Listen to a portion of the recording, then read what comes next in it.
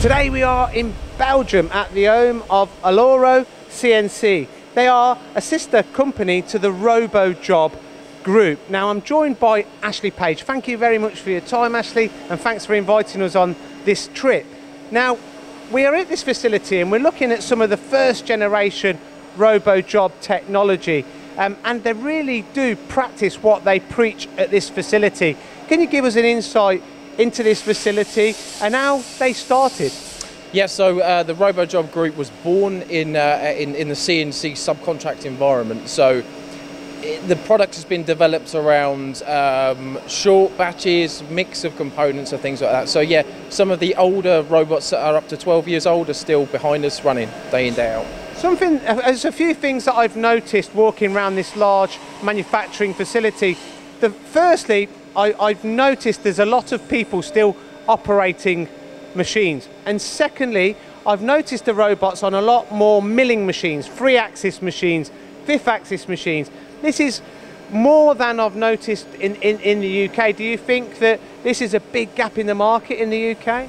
Certainly milling machines, yes, it's not, not something which we're well versed with how to automate and it's a lot easier than people think you're quite right so yeah you get more from a five axis machine even a fourth axis but still we can turn parts over for finished components and things like that but going back to the comment of um, there's still lots of people here yep I mean the robot and the machine can't set themselves the robots are there to complement the guys to sort of allow them to do better and other value added tasks as well. Absolutely. I was talking to Pascal earlier and he was explaining to me how they've upskilled um, the staff. Now, in regards to the, the machines, you know, fifth axis machines, there's a big misconception in the UK that fifth axis machines are for one-offs, two-offs, and why should we automate, automate them? But this is the proof in the pudding, really.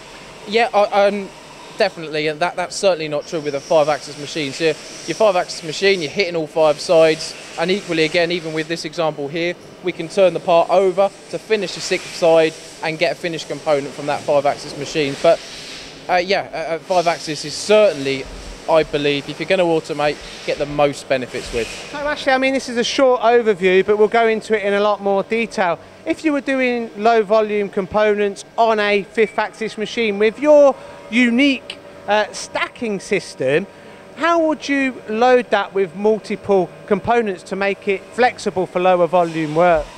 So um, the software is, is, is fantastic.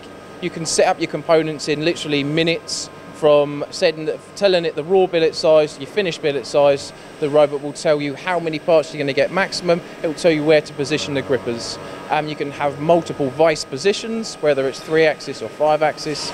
So we're able to have um, multiple places to do so.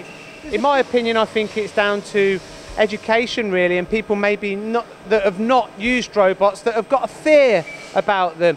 You know, we were talking to some of the um, owners of, of, of RoboJob and they explained how they've simplified the software to make it so easy for programming. How, how does this work?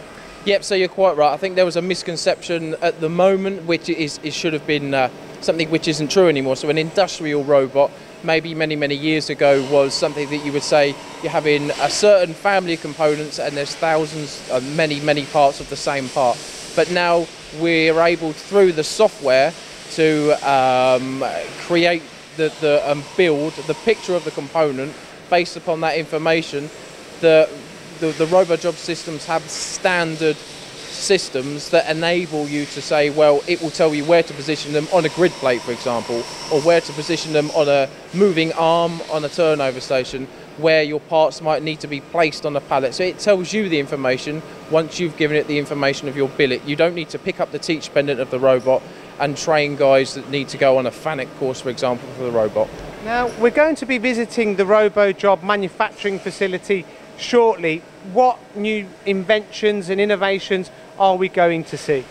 Uh, so RoboJob guys are continually developing software, continually developing new options. So options such as pallet load, where your raw and finished parts don't need to touch, so they don't have to stack. Uh, great for sort of the aerospace industry. Uh, a little additions such as uh, what we call an extra service might mean washer parts, uh, engraved parts. It might mean that we can have parts that can be inspected, but they are options from standard equipment. Now, in the UK, we're, we're dealing with a global market, not a small UK market. How important is it, in your opinion, that people embrace automation and can they survive without it? Yeah, you're quite right. So now we- really are dealing in a global market that we call globalization, that where our competitors aren't just local people down the road anymore. They're now guys, even the subcontract guys are competing with Europe, competing with Poland and things like that to say if we're able to compete with those guys at a certain level, one of the only ways to achieve that is to automate. Ashley, thank you very much for your time. So there you have it from here at the Aluro CNC Group.